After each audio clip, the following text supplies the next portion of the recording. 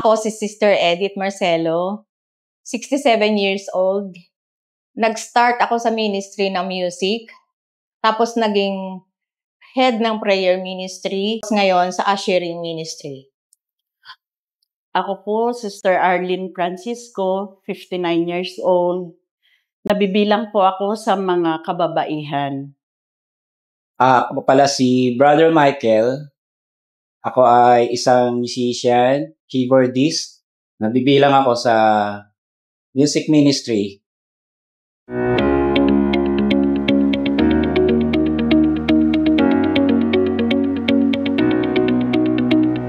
Maging isang manggagawa sa mga kababaihan, pamunuan ang mga kababaihan.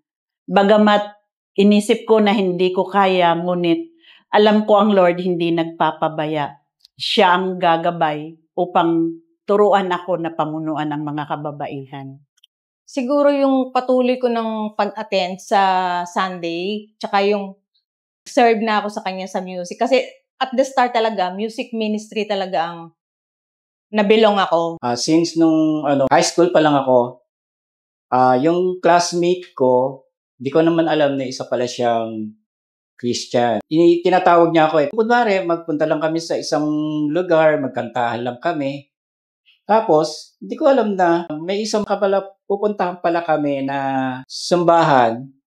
Akala ko, sabi ko, bakit dito tayo? Akala ko ba pupunta tayo ng pasyalan o sa ano sa Paraiso. Sabi nung kaibigan ko, dito muna tayo sa youth fellowship. Parang asiwa lang ako bugisan. Tapos hindi ko naman alam na yun ang giging tulay na maging Christian or maging magkakila, makakilala sa Panginoon. Doon ko na nakita kung anong gawain talaga ng ginagawa sa Panginoon. Wala pala, okay lang, ganun, ganun. Sama-sama lang, barkada, ganun. Pero nung mga bandang mga ano ko naiisip ko, parang ang ganda sumama yata sa ganun. Kesa yung mga naging barkada ko sa iba, sa labas. Doon nagsimula kung paano nakakilala sa Panginoon. Minsan, practice ng caroling, ako gitarista, doon muna sa barkada ko. Ngayon, nung kami ay magpa-practice, nakita ko bakit etong mga kaibigan ko para namang walang practice. Sige, daldala sila. Pero parang binabaliwala nila ako. Simula nun, tapos anong mabas ako, iniwan ko na sila, tinakasan ko or no. Tapos nung naglalakad na ako, pauwi na lang sa amin, hindi ko na, hindi na ako nagpaalam sa kanila. Umuwi na ako.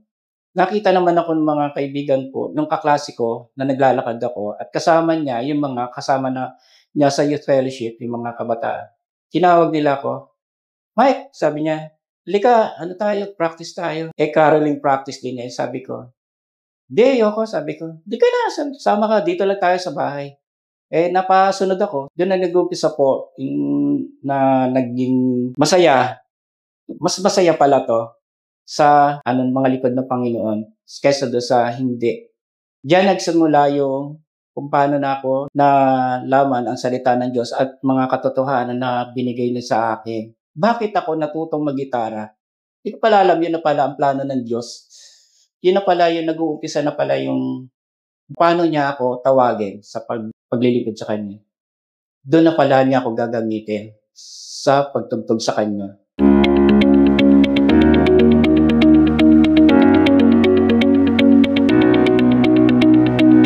Po, yan yung number one na ito mga kaibigan ko, doon ako parang iniwasan na. Kahit na lumapit ako sa kanila, parang iniiwasan na nila ako sa kanilang ano, pero ako, pinupunta ko pa rin sila. Inaano pa din. Gusto ko silang bahagyan na ng salita Diyos ng mga araw niyo. Pero ako ang iniiwasan nila. Doon nag-uumpisa na yung uh, parang naalangan na sila sa iyo. Doon nag-uumpisa yan. Bali, okay lang. Di bali, basta mahalaga, kaibigan pa rin sila. Dito na ako napunta sa sa mga anak ni Diyos, ng mga lingkod ng Panginoon ang hindi ko makakalimutan sa aking buhay nung nalaman ko na diagnose ako. Na nagkaroon ako ng breast cancer. Isa sa pinakamabigat sa aking buhay yun.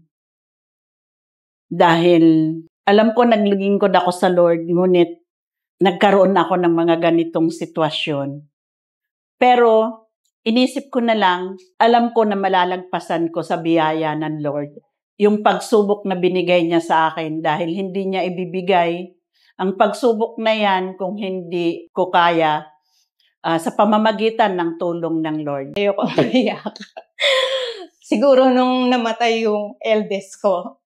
Kasi at that time, tuloy-tuloy ako sa music noon. Tapos 2015 yung naging head ako ng prayer ministry. So ang dami kong tanong kay Lord, bakit in spite ng mga ginagawa ko, bakit kinuha niya yung anak ko aksidente pa. So, namatay siya sa Singapore. So, yun yung pinakamalaking naramdaman ko na parang na-neglect ako ng Lord ba o ano, dami kong tanong sa kanya. Tapos recently nga ito yung yung pangalawa ko yung nagkaroon na operahan sa puso dahil nagkaroon ng bara.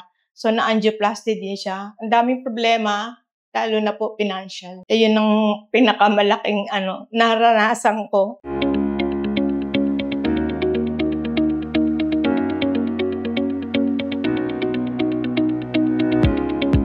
talagang gusto mong matuto o gusto mong matuto sa isang bagay na hindi lang sa instruments or sa mga sa salita ng Diyos, ang mahalaga doon, yung buhay mo, kung paano mo ibinigay sa Kanya, kung paano mo, paano Kanya tinawag, paano ka i, ilalagay niyan sa gawain na yan.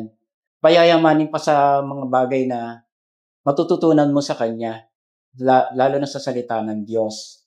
Sa pa, kagaya sa mga instruments or know, kung gusto mo matuto, matyaga ka or mag mag-aral ka, pag-aralan mo, paano matutunan. Para sa akin, kung talagang gusto nyong mag-commit, huwag kayong mag-hesitate, no? Kung kaya nyong ibigay yung oras nyo sa Lord. Ako po, hindi ko naman po tinataas yung sarili ko. 67 years old na ako totoo lang nahihiya ako sa music ministry dahil kaming dalawa ni Pastor Allen ang pinakamatanda. Kung maaari lang wag na ako makasama. But gusto ko pa rin talaga kasing maglingkod sa kanya. So, pagka talagang maglilingkod ka, i-commit mo yung oras mo, yung puso mo sa paglilingkod mo sa kanya at makikita mo yung blessings na darating sa buhay. Huwag nang magdalawang isip na i-commit ang sarili para sa gawain ng Panginoon. Dahil dito sa mundong ito, iisa lang ang dapat natin tingnan. Ang nasa Panginoon ay napakasarap, masaya, bagamat may mga pagsubok tayo sa buhay, ngunit hindi naman tayo pababayaan ng Lord. Ang lahat, binibigay ng Lord, pinoprovide ng Lord sa ating buhay. Pasalamat sa Panginoon na maganda ang naging uh, naging nakakilala sa Panginoon. Isa pa sa buhay natin, hindi na mahalaga yung mga bagay na, na nararanasan natin. Ang mahalaga yung yung buhay natin, ialay na sa Panginoon. Ibigay natin sa Kanya ang lahat ng oras, ibigay natin sa Kanya yung pagkakataon habang tayo nabubuhay. Kasi hindi natin masasabi ang mga oras na mangyayari ngayon, bukas. Kaya Pasalamat tayo sa Panginoon habang tayo huminga or na uh, bibigay natin ang pagkakataon na maglingkod sa Panginoon. Thank you ako sa Lord na napakalaki pasasalamat sa Lord.